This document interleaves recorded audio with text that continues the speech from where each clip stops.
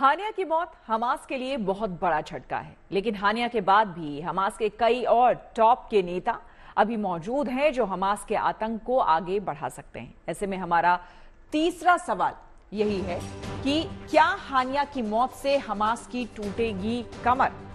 Hamas और middle east में चल रहे संघर्षों को समझने के लिए हमारे साथ मौजूद हैं रक्षा विशेषज्ञ, रिटायर्ड मेजर जनरल ए के सिवाज। सर आपसे यही सवाल जानना चाहेंगे कि जिस तरह से अब खबर सामने आई है तो वाकई क्या आपको लगता है कि हानिया की मौत के साथ हमास जो है वो बिखर जाएगा या फिर बिखर गया है? हाँ बिल्कुल। देखो श्वेता ये सच्चाई है कि जो हमास का टॉप लीडर था इस्माइल हानिया और इसके पास 2017 के बाद ओवरऑल कमांडर था।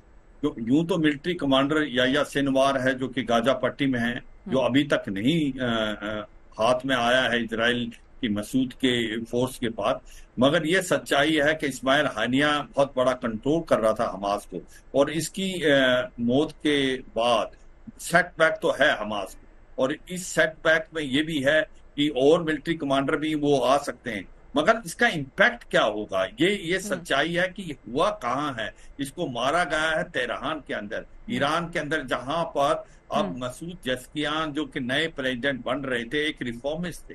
तो ये मैसेज भेजा गया है कि कहीं ना कहीं जो ईरान चाहता था कि अच्छे रिलेशन यूरोप से भी हों और कहीं ना कहीं इसराइल के साथ हों तो उस पर भी सेटबैक होगा। मुझे लगता है कि इसकी मौत से इस्माइल हानिया के यहाँ पूरे इलाके के अंदर अब आप देखेंगे ये हम्म। तीनों एक्ट जो हमास हिजबुल्ला और होती रेबल ये बहुत ज़्यादा सक्रिय हो जाएगी। क्या इस लड़ाई के अंदर ईरान आ सकता है? ये कहना बड़ा मुश्किल है मगर ये भी पॉसिबिलिटी है।